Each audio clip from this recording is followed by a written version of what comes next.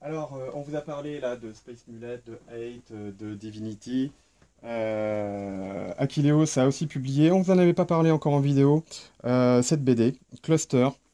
C'est un one-shot, un one-shot de SF qui est vachement bien dessiné. Moi, j'ai vraiment trouvé l'esprit, bah, justement, Firagen dedans. C'est ce que sans doute cherche un petit peu Akileos, hein, à, conserver cette ligne directrice. Et là, dans cette, euh, dans cette bande dessinée, Cluster, on va suivre une jeune femme qui visiblement a commis une sorte de crime, mais c'est dans. De toute façon, ça se déroule dans un monde extrêmement totalitaire et euh, qui euh, n'est pas très sympathique et qui envoie des personnes sur une planète en train d'être terraformée pour travailler plus ou moins comme esclave dessus. hein.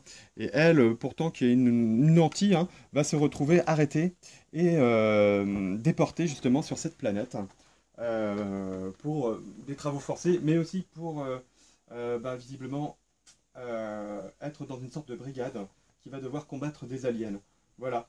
Euh, aventure, fun, humour, bon personnage, planète excentrique, exotisme. Je crois qu'on a vraiment tout dans cette BD qui fait euh, euh, BD spatiale assez classique, mais dont on ressort vraiment conquis. Donc euh, voilà, moi, euh, Cluster chez Akileos, je vous le conseille fortement si vous voulez passer un bon moment.